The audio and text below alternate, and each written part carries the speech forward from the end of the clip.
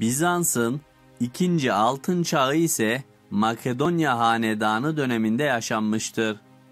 Bu dönemde Anonim Folis olarak adlandırılan, ön yüzünde İsa, arka yüzünde yazı bulunan sikke serilerinin basıldığı bilinmektedir. 11. yüzyılda arka yüz tiplerinin çeşitlenmesine rağmen İsa, Meryem ve Azizlere ait tasvirler yoğun olarak kullanılmaktadır. Son Bizans İmparatoru 11. Konstantinus'un gümüş sikkelerinin ön yüzünde İsa'nın büstü, arka yüzünde imparatorun büstü ve adı vardır.